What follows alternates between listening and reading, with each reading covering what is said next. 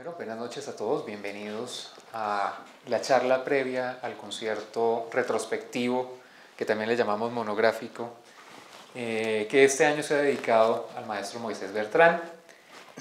Eh, pero primero vamos a, voy a hacer una pequeñísima introducción porque este concierto hace parte de una serie eh, que lo van a ver ahí en el, en el, programa de mano que parece que es Colombia se compone. Desde la fundación misma de la sala ha habido un interés muy grande por los compositores colombianos, casi que esta serie nació accidentalmente en el primer concierto de la, de la sala de conciertos. Eh, y este año pues ha sido una temporada muy particular y digamos en la parte de música académica eh, ha habido una gran notoriedad de los compositores colombianos y también de las agrupaciones de música de cámara colombianas tocando precisamente y haciendo estrenos de compositores colombianos. Dentro de esa programación, pues, eh, de hecho el primer concierto que tuvimos fue precisamente de compositores colombianos con el ensamble la sociedad.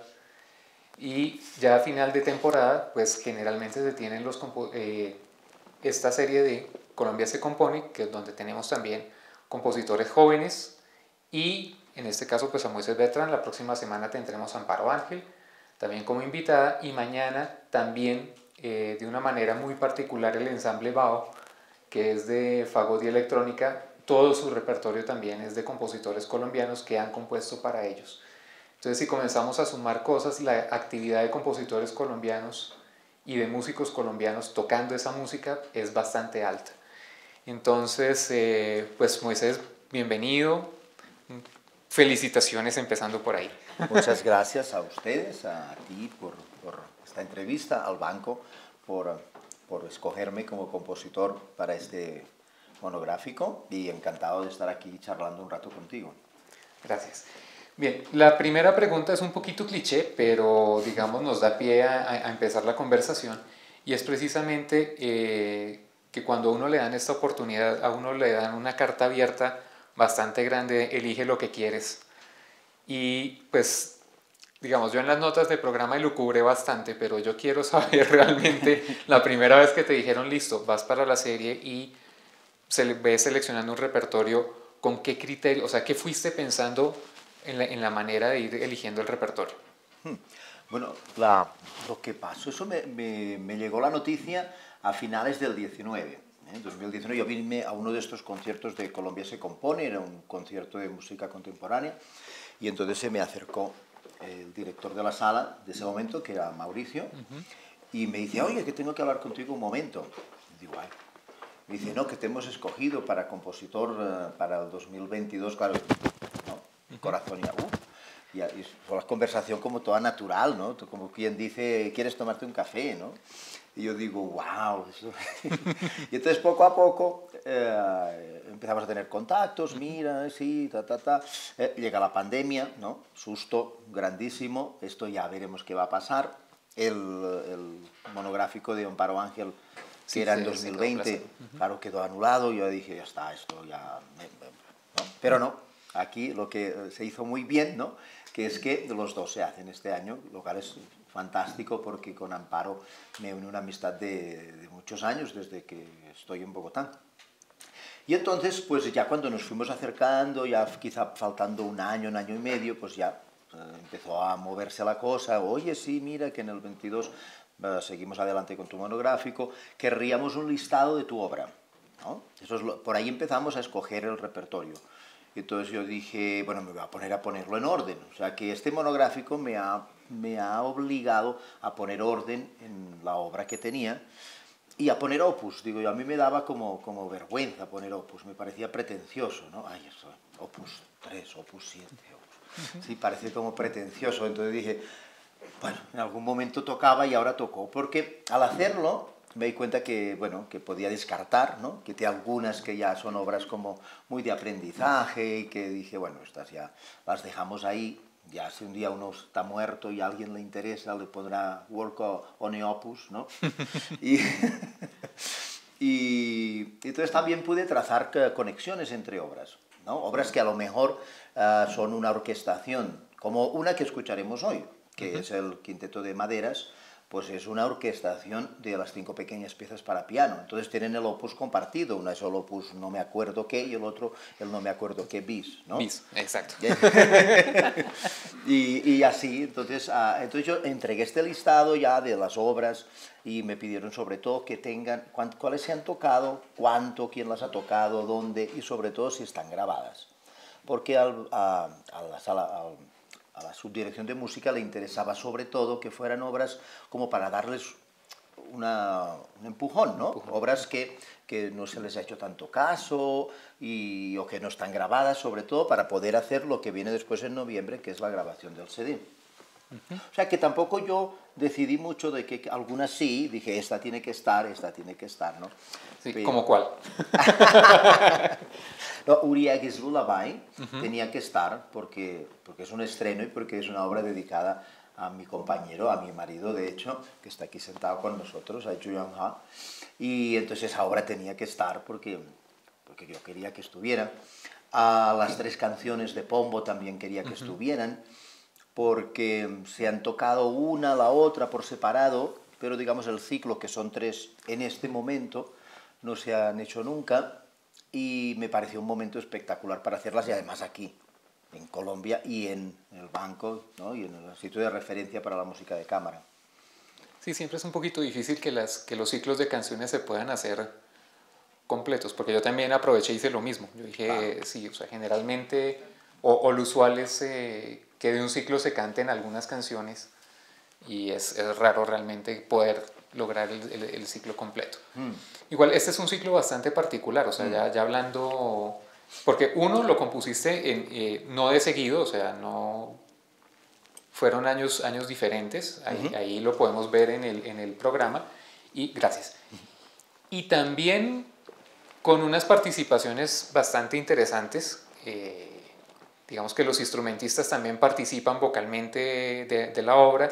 Ah, no, no digamos, no digamos. ¿No, no digamos? No, no, no. no, no. no digamos. Bueno. No lean el programa, tampoco. Leanlo después, cuando lleguen a la casa. Pero, pero bueno, la idea de este ciclo a mí me llama la atención. Uno, escogiste, bueno, Rafael Pombo, que es uh -huh. eh, conocidísimo autor colombiano. Uh -huh. Pero ¿cómo llegaste a la obra de Pombo? ¿Cómo la, la selección? O sea, ¿cómo fuiste armando el ciclo? Porque me da la impresión de que se fue armando más bien a través de los años. De los años, sí. Bueno, Pombo lo conocí al llegar a Colombia, de hecho, uh, por los cuentos, ¿no? Por uh, Rin Rin Renacuajo. Uh, tuve una alumna en los principios de mi estadía aquí en la Universidad Nacional que hizo una obra de grado eh, de orquesta sobre cuentos. O sea, eh, no el, el, texto no participaba, que yo recuerde, porque ahora me viene a la mente, ¿no? como no me lo habían preguntado, no me acordaba pero me acuerdo que por ahí creo que ya me sonaba seguramente, pero al trabajar con ella una obra sinfónica basada en tres o cuatro cuentos, pues claro, entré más en el, en el tema de Pombo y me gustó, me gustó mucho. Y luego, buscando, encontré este libro que se llama Fábulas y Verdades, uh -huh. y es una colección de tropecientos mil uh, pequeñas fábulas que todas tienen una moraleja al final, ¿no? y me parecieron tan divertidas. ¿no? Por ejemplo, la, la primera con la, que, con la que inicia el ciclo uh, se llama... Espera, que me acuerde. Ah, nos podemos ayudar, no hay, no hay ningún problema. La niña curiosa. La niña curiosa. Entonces, la niña curiosa es una niña que tiene una muñeca y pues es una niña caprichosa. ¿no? Y tiene una muñeca y dice, ay, yo no sé cómo, cómo estará hecha, tengo curiosidad, ¿no? Entonces finalmente como dice el poema, le, le, llega pateta, que me contaron pues, que es la manera que muchos niños hablan del diablo cuando, son, cuando eran pequeños, quizá en otra época, no sé si ahora. No, pero, entonces, no, pero sí ya en no. otra época, sí. Entonces llega pateta y la, la, la posee, digamos, y ella termina zajando la muñeca para ver qué hay dentro. Y luego pues se, da cuenta que no hay nada, ¿no? Entonces ahí está la moraleja de, de, decirle a los niños, bueno, no tenga tanta curiosidad porque a lo mejor luego, pues por tanto querer eh, hacer algo que le van diciendo que no, al final se queda con nada, ¿no? Porque luego no tiene ni muñeca ni tiene lo que ella podía imaginar que había dentro, ¿no? Luego la última es el coche, que es un coche de caballos que viene a toda pastilla, haciendo mucho ruido y la gente del pueblo pues empieza a decir, wow, ¿qué, ¿qué, estará pasando? ¿no? ¿Qué es esto? Seguramente llevan un bandolero dentro que lo llevan a prisión y van súper rápido para que no se les escape o cualquier otra cosa, ¿no? Y al final el coche se estampa contra una pared o tiene un accidente, se abre y dentro no hay nada. Entonces viene la moraleja de que hay gente pues que habla tanto y tanto y que se le llena la, boca de, oh, de, grandezas y después resulta que son gente que no tiene nada que decir, digamos, ¿no? Como tantos políticos, ¿no? Entonces estas me, me, me, llamaron mucho la atención, pensé que eran muy divertidas para hacer algo que yo no he hecho tan, tan a menudo. Mi obra es bastante seria, digamos, ¿no? Siempre me dicen, ay, pero tu música es muy nostálgica, ¿no? Bueno, la nostalgia es mucho del carácter catalán, si escuchan Serrat, seguro todos conocen Joan Manuel Serrat, sí, claro, Joan Manuel Serrat es súper nostálgico, ¿no? Hay canciones que, que, que te, te, cortarías las venas, ¿no? Eso tiene mucho que ver con el carácter catalán. Y entonces yo obras así como graciosas, divertidas, tengo muy poquitas. Entonces, claro, unos poemas así me llevaba a, forzosamente a escribir algo divertido. Y entonces eso es lo que hice. Y cada una tiene una instrumentación diferente. Por eso Además, dificultad añadida de poder hacer este ciclo en un espacio donde no te, no te cuiden tanto como aquí, en el Banco de la República, que mejor dicho, nos, a mí, igual que a ti, me han llevado como, ¿sí? como un príncipe, ¿no? Sí, sí. Entonces, claro, la primera canción es con contrabajo, o sea, soprano, contrabajo y piano. La segunda, soprano, violín y piano. Y la tercera, soprano, soprano, soprano 1, soprano 2 y piano. ¿no? Entonces, cada una tiene una configuración instrumental diferente y eso la, eso la hace más difícil. Más difícil, sí, de, de, de, que se pueda hacer, digamos, en un solo, en un solo lugar. Y ya que estás hablando de la catalanidad, eh, sí, algo que yo noté, digamos, cuando, cuando me pidieron hacer las, uh, las notas al programa es precisamente que para mí hay, hay esta obra y además eh, miniaturas para Gaudí y Tuve Montpellier ¿cierto? Son mm. obras, digamos, como con un profundo sentimiento eh, catalán, me parece. Mm. Mm. Sí, sí, sí, sí, sí, sí. Bueno, Hablemos un poquito de esas, de esas dos obras. Sí, sí. ¿Por dónde empezamos? Por... Cualquiera. Toi de Montpellier, por ejemplo, claro, es, eh, eso es, es, francés, no es catalán. Es francés, ¿eh? Toi de Montpellier es una es un cuarteto de cuerda basado en una canción anterior que escribí, de un ciclo, Trois chansons de l'Acadie, tres canciones de l'Acadie. L'Acadie es una región, una zona dentro del Quebec, o sea, dentro del Canadá francés, un, una, una, parte, ¿no? que es l'Acadie.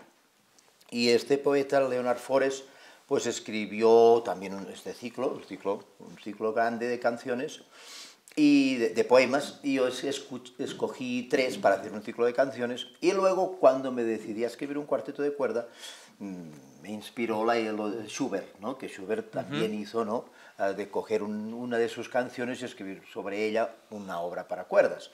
Y entonces hice eso y escogí esta, esta canción. Claro, el poema es bastante nacionalista de la región del Quebec. Del Quebec. Ah, ok. Pero bueno, pues eso tiene connotaciones también con Cataluña. Seguramente por eso también me sentí afín, ¿no? porque nosotros siempre tenemos ese sentimiento patriótico, nacionalista o de, de, de, de reconocernos ¿no? como cultura diferencial. Eso no quiere decir que no reconozcamos a, los, a, las otras, sino que uno se reconoce como con una diferencia y la quiere mostrar. Uh -huh. Ya, eso es lo que hay en Teatro de Montpellier. Uh -huh. Luego... Eh, eh. Las eh, miniaturas para Gaudí. Las miniaturas para Gaudí eh, salen también de, bueno, de una idea. De la idea, tenía que escribir una pieza para esta instrumentación, me la pidieron y de golpe se me ocurrió, por catalán evidentemente, pues tomar del apellido ¿no? de Gaudí uh, las letras y hacer un tema. Y sobre ese tema sale toda la obra, ¿no? De Gaudí, pues de la G sale el sol, en terminología inglesa, ah, pues podemos traducir las letras a una nota, ¿no? Los ingleses las, o los americanos y británicos les ponen con, con, con, la letra, entonces la G para el sol, la, la A nos, nos lleva al La, la U, claro, no está en terminología inglesa, sino que entonces tomé de la, de la música medieval que llamaban al do ut. ¿no? Y entonces por la U cogí el do. Luego vamos a la D, que es un re, y la I, que tanto me sirve vocálicamente para un mi o para un si. Y de eso salen un, un grupo de cinco notas, donde la quinta nota a veces es un mi, a veces es un si, y de esto salen la obra que escucharán, que se llama Miniaturas para Gaudí. Y, mm, y también de este grupo de cinco notas, por negación, digamos, sale otro grupo de cinco notas, que son 5 y 5, 10, eh, tenemos 12 en la escala, pues con eso tengo dos grupos con las que algunas de las piezas que dirán, ay, esta, sale, esta suena un poquito más disonante que la otra, que suena muy consonante. La que suena muy consonante solo tiene las notas de Gaudí. La que suena más disonante es porque están jugando los dos grupos, ¿no? En muchas ocasiones. Gaudí, la sombra de Gaudí. ¿Mm? Gaudí y la sombra de Gaudí. Y la sombra. y luego también, claro, yo digo que cada uno de esos movimientos sí me inspiró al haber sacado esta idea de hacerlo con el, con el nombre, porque el arquitecto Gaudí, pues Antonio Gaudí, a mí es un arquitecto que me fascina, me encanta toda su, producción. Y mm, entonces también pues caracteres que yo veo en su obra los quise pasar a la, música, ¿no? Digo, ahí la fuerza, ¿no? La, la religiosidad, etc. Eso lo leerán también muy bien en las notas que, que, hace Pedro en el programa de mano, que él habla de todo esto con mucho más detalle. Sí, sí, sí. Eh, porque también están muy bien expuestas en las partituras.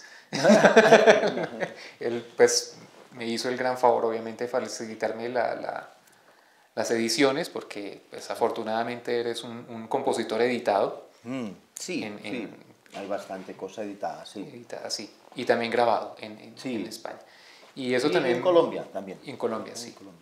Y eso también me, me, hace pensar, digamos, que has tenido recientemente una relación, digamos, muy, muy cercana con Ala Boroncoa. O sea, yo estuve más o menos chismeando y has hecho varios proyectos eh, con ella. Uno de ellos, pues, está, se refleja aquí, que en esa, es esa falsa quinta estación.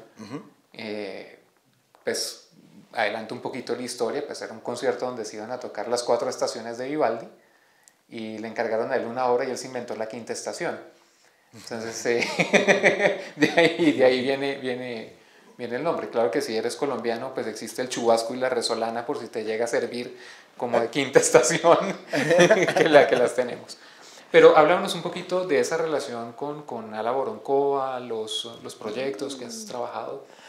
Viene de años, de cuando yo empecé a trabajar en Medellín, en EAFIT, eso era el año 2001, pues pronto me inventé un festival, ¿no? Dije, bueno, el festival se inventó solo. Yo lo que quería era hacer un concierto de música catalana. ¿no? Ya van viendo que soy catalán, ¿no? y entonces yo dije, bueno, ya que, soy, ya, que he venido aquí, pues, eh, pues traer a esta tierra pues también un concierto de la música de mis colegas, de música de, de compositores conocidos, amigos míos, o de los reconocidos en Cataluña. Y eso se me enredó. En cuanto hice propuestas para allá, muchos dijeron, oye, pero yo quiero venir. No te preocupes, tú mándame una carta de invitación y yo tengo la manera que me busco, que, que una ayuda, que una beca, que no sé qué. Y eso me convirtió en una semana. Eso se llamó la Semana Colombo-Catalana, vaya, me la bauticé. Fue en 2003 la primera. Y hicimos toda una semana de conciertos, conferencias, talleres, etc. A las, entonces me dijeron, bueno, ¿no vas a hacer una segunda? Bueno, sí, sí, sí me ayudan, ¿no? Bueno, entonces encontré repercusión porque gustó, funcionó y entonces pues en Cataluña me dieron un trisito de plata, el año siguiente me dieron un poquito más, entonces empecé a buscar músicos que quisieran venir y ahí apareció a la Boroncova. Eso es el 2004 que la invité, yo no la conocía, ni a ella ni a su marido, que es Gerasim Boronkov, no los conocía. Ya, entonces la invité para que viniera de violinista al festival que, era, que un, era un festival que se hicieron cinco ediciones donde la pretensión era juntar músicos colombianos y músicos catalanes para hacer conciertos juntos, talleres juntos, o sea, y eso lo, lo hicimos, y cada año hicimos un homenaje a un compositor, una vez catalán, el otro colombiano, el catalán, colombiano. Entonces ella vino y bueno, eh, pues le gustó mi música, tuve, tuve esa, esa suerte, esa bendición y empezó poco a poco a decir, oye, pero, pero tienes que escribir un concierto para violín, ¿no? Pero eso era, bueno, sí, sí, sí, sí, sí, ya lo haremos, ya lo haremos.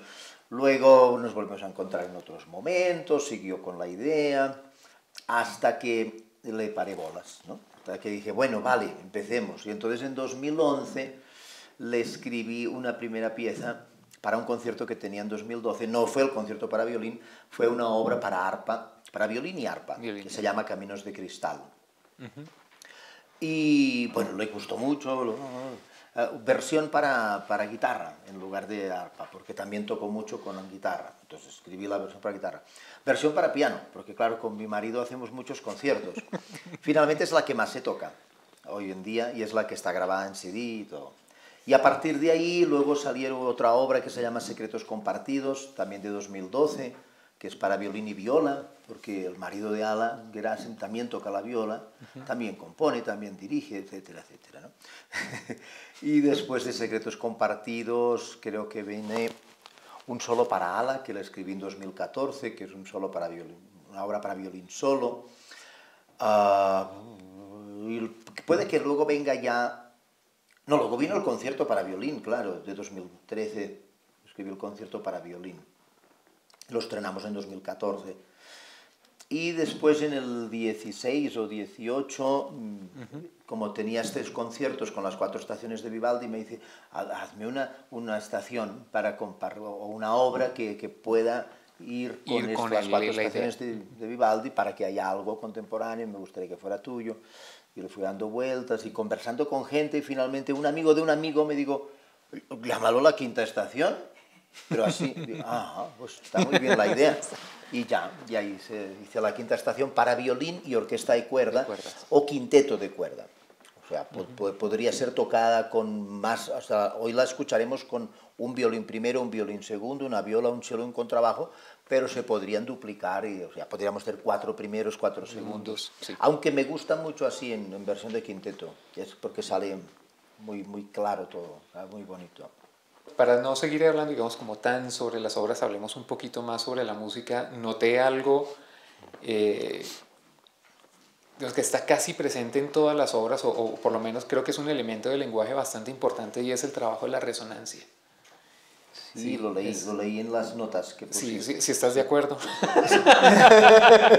Porque sí, está, sí, sí, sí me parece que es un elemento eh, que enriquece muchísimo, es decir, pensar que, que pues es decir, hay, hay, un, hay un instrumento adicional que siempre es la sala donde uno toca. y, y aprovechar esas cualidades me parece que es algo muy bello. Entonces, háblanos un poquito de ese trabajo, o sea, ¿Cómo fue llegando o fue simplemente instintivo? ¿Cuándo lo reconociste? No sé. Pues cuando leí las notas sí, la verdad, sí, yo no, yo pensé, pues tiene razón. Sí, porque en, toda mi obra hay, hay, una cantidad, hay mucha resonancia, pero yo no, o sea, pero me gusta, no sé, quizá es por la obra de Montpou, Frédéric Montpou, compositor catalán de principios del siglo XX, uh, bueno, finales del 19 del 20, pero su obra se desarrolla sobre todo en la, segunda, en la primera mitad del 20, pues es un compositor que a mí me apasionó desde que lo conocí, desde que conocí su música. Y en su música hay mucha resonancia, ¿no? Uh, hay mucha campana.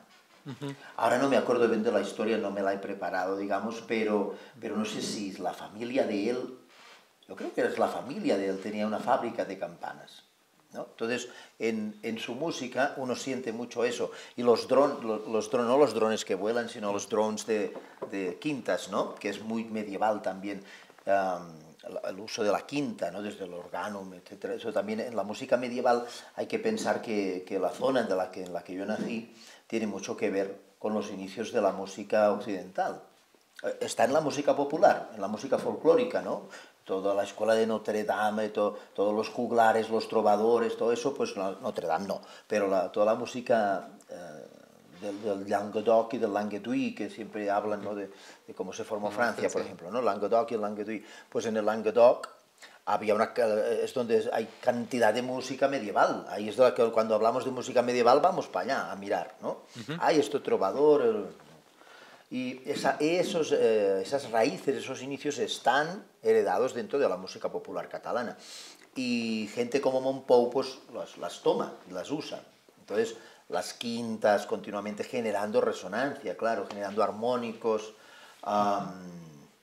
el sonido este de campanas, pero eso ya es por, por, por, por quién era él, ¿no? Pero claro, yo podría ser que lo heredara porque su música me gustó mucho y siempre toqué y, pienso que, hay, que tengo una raíz importante allá, en él y después Monsalvache, ¿no? Sí. Pero, pero sí, sí, tienes toda la razón. Está, o sea, Uriah Gislolavai, por ejemplo, está lleno de resonancias en los agudos, la uh, Tribute to James, que es como empieza el concierto, empieza con una obra para piano que se llama Un tributo a James. James, eh, me refiero a un compositor norteamericano que se llamaba James Sellers, uh, con quien yo estudié mi maestría y doctorado en los Estados Unidos. Murió lastimosamente en, en febrero del 17 y me encargaron una obra para que se tocara, que, bueno, que yo tocara finalmente en su memorial que fue en diciembre de 2017. Y también en esa obra hay cantidad de, de resonancias, el cuarteto que escucharemos para cuerdas, claro, empieza con armónicos también, uh, y, y, siguen habiendo armónicos por aquí, por allá. Sí, sí, está por todos lados. Sí. Yo creo que necesito esa, esa cosa etérea del, del sonido que me, me fascina, ¿no? Me hace soñar sí. o me hace volar que, que sí. ingravidez, ¿sabes? Vea. sí, porque digamos es, es, eh, es, es, también una invitación digamos, a, a, ustedes que nos están, que están participando, escuchándonos aquí. Eh, es muy interesante, es decir, el, el, el, la opción de la, de, la, de la resonancia también te hace consciente del espacio donde estás y de las características de, o sea, que el sonido no solamente te, te, tiene que venir de frente, sino que te envuelve y que, y que es una, una experiencia, y, y, pues sí, o sea, es una característica, digamos, muy presente en, en, en la obra de, de, de, Moisés. Como también lo son las quintas, tanto... Mm. Tan, están en, en, en, casi, en casi todo lado, pero... Eh, quizá explicamos las quintas para quien no sea músico, es una interválica, ¿no? Es, es, un do y un sol, por ejemplo, eso es una quinta, ¿no? Son de las primeras frecuencias, cuando uno toca un sonido en un piano, por ejemplo, en un, en un cuerpo afinado, se genera una cantidad de sonidos que son concomitantes. O sea, un sonido no está solo, o sea, un do no es solamente un do, un do es una cantidad de sonidos que después se van generando en frecuencias más agudas, ¿no? Es un do con otro do, con un sol, con otro do, con un mi, con un sol, con un si bemol, con un do, etcétera, hasta el infinito. Entonces el sol es como de, las, de la primera nota diferente con la que un cuerpo se pone a vibrar. Entonces eso es muy básico, es muy fundamental ¿no? de la naturaleza. Esto, todo cuerpo afinado en la naturaleza produce ese, esa columna. Esa columna, exactamente y quería llevarlo precisamente a la suite para quinteto de viento, hmm. que es, es, eh, es, es, una obra que a mí me pareció interesante, uno porque sí, es, es una escritura muy pianística dentro de él, pero, pero no es lo importante, lo importante es que hay mucha resonancia de quinta y me parece que hay también mucho sonido de órgano hmm. buscado intencionalmente. Entonces, no sé si nos quieres decir un poquito más de la obra. Del quinteto. El quinteto de maderas es una obra de 2000, del año 2000, aunque existía ya en el 2000, ¿verdad? ¿O 2001? 2000 dice aquí. 2000, 2000. De, eh, yo la escribí en 94, 95, es decir, las, la primera pieza son cinco pequeñas piezas, dura seis minutos y algo, o sea, es una obra cortita. La, la primera la escribí en el 95 y las otras cuatro en el 94 ya que la última uh, estaba como por aparte, pero luego me di cuenta que funcionarían juntas y porque me iban a editar el preludio. O sea, la, la primera hubo una editorial en Cataluña que la seleccionó, bueno, la seleccionaron en un concurso de pianistas para que fuera obra, obra obligada. Entonces dijeron, bueno, como es obra obligada la vamos a editar. Pero claro, son dos páginas, es que es un minuto treinta o algo así y me dijeron, ¿qué te parece? Porque no miramos si se puede hacer algo más, ¿no? Y entonces se me ocurrió que sí, a ver si funcionaban. Y por arte de magia, digamos, eh, para mí funciona perfecto. Se toca el preludio de las otras y ya se llama ahora pequeña suite para, para quinteto o cinco pequeñas piezas para piano. Entonces las piezas para piano son del 94, 95 y luego en el 2000 me seleccionaron para, para estar como joven compositor con la orquesta de Barcelona, la joven orquesta sinfónica de Barcelona y para hacer un stage, una, una estadía en un, una casa de colonias que se llaman allá y todo el mundo estaba allá y todo el día, cinco días o siete días eh, ensayando y, y comíamos y dormíamos ahí. Y entonces a los jóvenes compositores que nos seleccionaron, esa orquesta nos hacía una obra de cámara. O sea, ellos hacían un repertorio de grandes compositores, ¿no? Y tipo, tipo Ligeti, ¿no? O tipo, sí. Y a nosotros pues nos hacían una obra de cámara cada uno. Y entonces eh, yo dije, ay, no tenía tiempo de componer, ¿no? Yo me acuerdo. Entonces, cuando iba a trabajar en esa época, tenía muchos eh, desplazamientos de autobús, de horas. Pasaba una hora y media, otra hora y media. Entonces empecé a mirar estas piezas de piano y dije, ay, esto lo podría orquestar, esto lo podría instrumentar. Y entonces empecé a instrumentarlas, de hecho en el bus, ¿no? Las empecé a instrumentar. Luego yo todo lo pruebo en el piano, porque yo soy mucho de trabajar con el piano. Pero las primeras ideas de color y de enlaces y de cosas salieron así en ratos que, perdidos, que podrían ser perdidos, pues los aproveché. Y entonces de ahí sale esta orquestación de las cinco, de las cinco piezas. Lo del órgano no sé. A mí me parece. Sí, por la combinación de timbres, sí. Sí. Sí, sí. Y, y, también por, por el efecto de resonancia. O sea, me, me acordó un poquito eh, una obra de Arvo Part que, mm. que, se hace, digamos, con los registros, pero a la mitad, para que uno pueda escuchar también que se escapa el aire y, crea una cosa de resonancia muy extraño. Y cuando vi la marcha, que, mm. que, es muy, muy de saturar, saturar, saturar, saturar, yo dije, esto a mí me suena a órgano. Mm. Pero no, no lo pensé, no. No, no, pero puede, pero puede ser. Claro que sí. Lo de las quintas sí, porque, porque siempre uso interválicas de quinta. Ah, me gustan mucho y ahí, ahí están.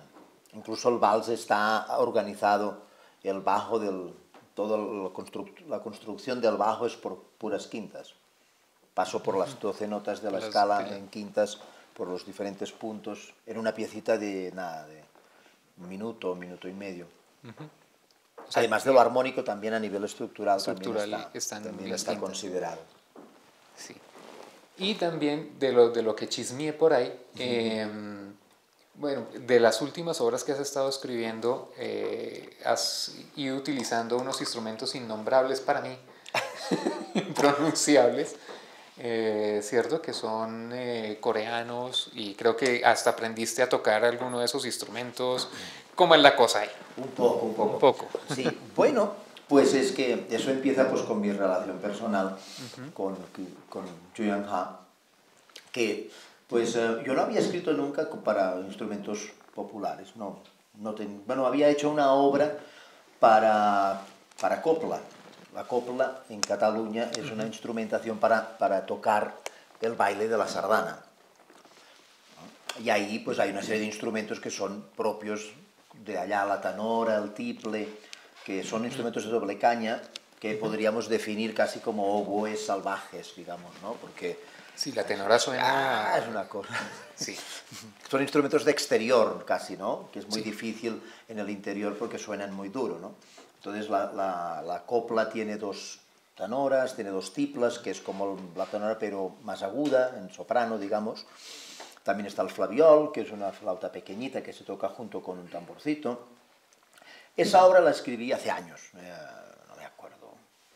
Se llama Paisajes y debe ser del 96, 1996. O sea que sí, tengo una obra para agrupación folclórica, ¿no? que es esa. Pero después de eso no escribí nunca nada más, hasta que entonces eh, me dijo, tienes que empezar a mirar música coreana porque, porque hay mucho que hacer allá. ¿no? Entonces me di cuenta, fuimos, eh, estuve como oyente en un curso, ellos, el, el gobierno coreano, organiza cada verano hasta la pandemia y ahora ya ha vuelto a organizarlo, un curso en el que seleccionan, cuando uno aplica, digamos, y ellos seleccionan pues, un grupo de 15, 17 personas y buscan sobre todo directores de orquesta, directores y compositores que estén interesados en conocer la música tradicional de ellos y lo hacen como una inversión para que tú luego pues puedas ser una puedas ir y spread the word no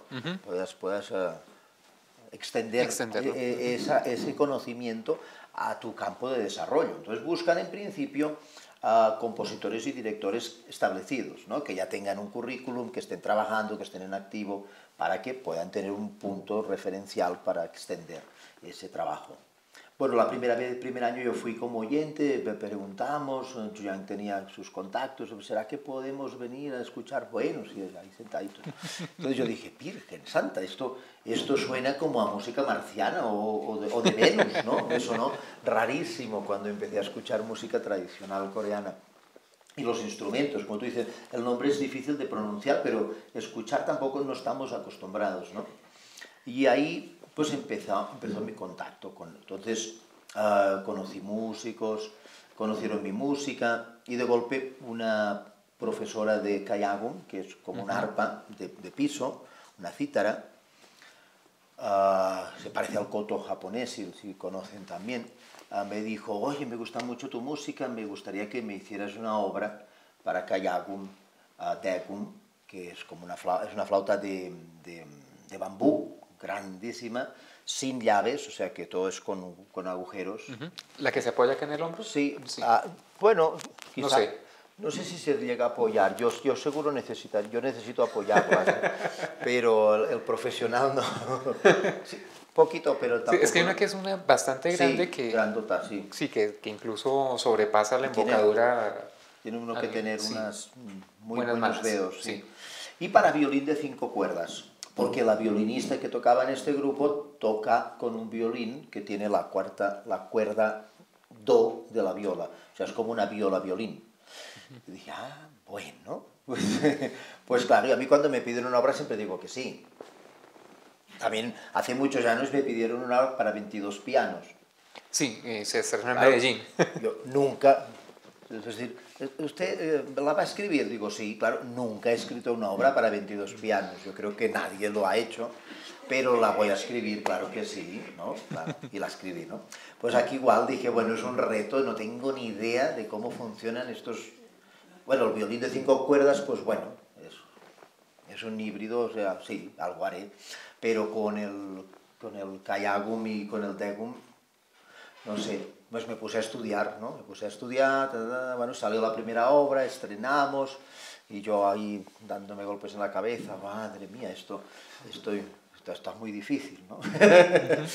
Luego, bueno, gustó, por suerte, me pidieron otra obra, para, mm, la siguiente fue para Orquesta de Callados, la segunda, creo que sí también, como una orquesta de pianos, ¿no? Como 22 pianos, pero eran 25 kayagums y dos percusionistas. Entonces ahí me tocó estudiar mucho, mucho kayagum. y poco a poco sentí que ya lo iba entendiendo. Además, me presenté a, las becas del gobierno coreano para acceder al curso este que hacen cada verano en 2019. Y en 2019 me aceptaron y, y entonces aprendí.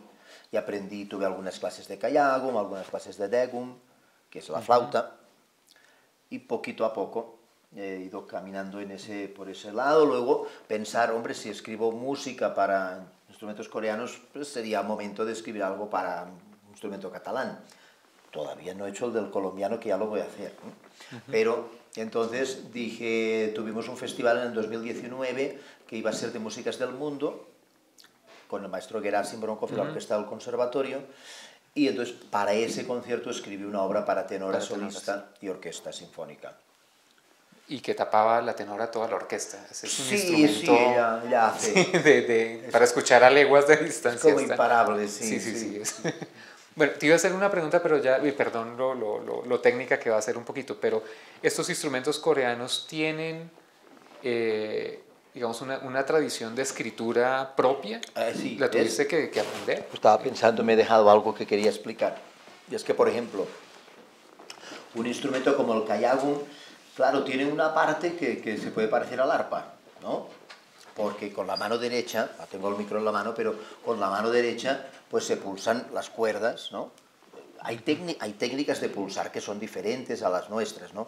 Que si pulsas con el pulgar, tienen toda una notación es especial que tienes que aprender, pero que si el pulgar, que si no sé qué, que si lo que se llama flicking, que sería como con la uña, ¿no? Con la uña y la lanzas y entonces, pum, claro, es otro sonido. Puede ser double flicking, tin, tin, dos, triple flicking, ¿sabes? Y todo eso tiene su, su notación. Y además, luego viene lo difícil, que es la mano izquierda. La mano izquierda se sitúa... Cada cuerda tiene un puente, o sea, no es como el violín que tiene un solo puente, para, las, cuatro, cuerdas, sino que cada cuerda del, del kayagum tiene su, su propio puente, con lo cual se podría afinar diferentemente de la afinación tradicional. Pero yo cuando he trabajado con kayagum he preferido la afinación tradicional porque enloqueces menos al instrumentista, ¿no? Y entonces con la izquierda se hacen toda una cantidad de sutilezas de algo que nosotros podríamos llamar vibratos, ¿no? Pero ellos tienen de Sigimse y, y, otros nombres de para cada cosa, ¿no?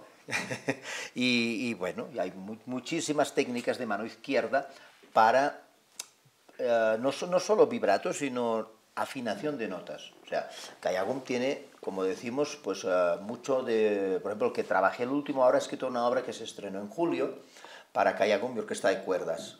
Ese kayagum de 18 cuerdas, los hay el tradicionales de 12, pero luego hay versiones más modernas para acercarse a las músicas de Occidente y poder combinarse, que tienen más cuerdas. Hasta que el Dala de 25, que es el kayagum que tiene más cuerdas, ya se parece mucho a un arpa cuando la oyes, pero una arpa diatónica, ¿no? Y mm, entonces este de 18 cuerdas, pues, em, pues claro, permite si tú tienes, por ejemplo, notas afinadas, una de las cuerdas está en mi bemol, la otra está en fa, pues claro, tú dices, no tengo mi natural. El mi natural no está. No tienes un mi natural, tienes un mi bemol, un fa, un la bemol, un si bemol, un do, un do y un mi bemol otra vez. Claro, no tengo re bemol, no tengo re natural, no tengo mi. ¿Qué hago? Bueno, entonces con la técnica de mano izquierda es que tú consigues esas notas presionando, ¿no? Pero todo eso tienes que indicarlo porque hay notas que incluso que aunque las tengas, las quieres presionadas porque tienen otro color. ¿no? Sí, esa es una anotación bien... Es muy curioso. Bien, bien y hay que estudiarlo mucho. Yo tengo un libro que, que, publicó la intérprete con la que trabajé ahora en julio, que se llama Yi Jiang, y ella tiene como el, el libro para la escritura de Kayagum, ¿no? Sí, con videos, hay como 120 videos que lo tiene todo en línea es un libro fantástico en coreano y en inglés. Y bueno, cuando me pidió la obra, pues me regaló el libro y yo me lo estudié de arriba abajo, como cuatro veces me lo leí. Claro, ella estaba encantada, me dijo, creo que no lo ha hecho nadie, eso de leerse el libro de arriba abajo. Me le ayudaba a buscar errores. Mira que aquí hay, aquí está, aquí se tradujeron mal esto. Muy bien. Entonces sí, er, er, era esa la, la, la, curiosidad, porque a veces eh, eh, pues yo estuve hace el año pasado en un, en un curso precisamente de notaciones Y, y, pues las culturas que han desarrollado obviamente las notaciones van a incluir cosas muy particulares, o sea, lo que tú dices, el gesto, eh, a veces importa más, eh, sí, el, el, color de la nota que la afinación misma, o sea, es, es, una cuestión muy, muy subjetiva, muy difícil, y pues a eso iba mi pregunta, o sea, no debe ser sencillo que digamos, nosotros tenemos una tradición como muy exacta, o sea, de, de, que hay un signo para cada cosa y ya no lo aprendimos de memoria y toda la cuestión, a, entrar a una notación completamente diferente y volver a alfabetizarse. Sí, sí, es eso. Sí, es eso. Pero bueno, tomé el, el, challenge. el riesgo. Sí, el riesgo, quise, quise hacerlo, porque me, me, apasionó lo que escuché, me gustó mucho.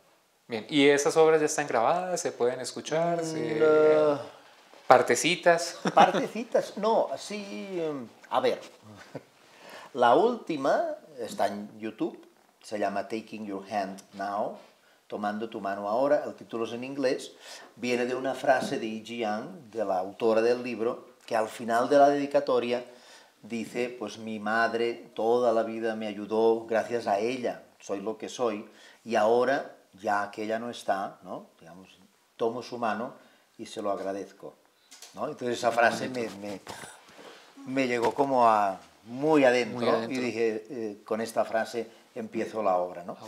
Y esta obra eh, está eh, en, en YouTube, la encontrarán. También la primera que escribí, que se llama Heavenshon Trio.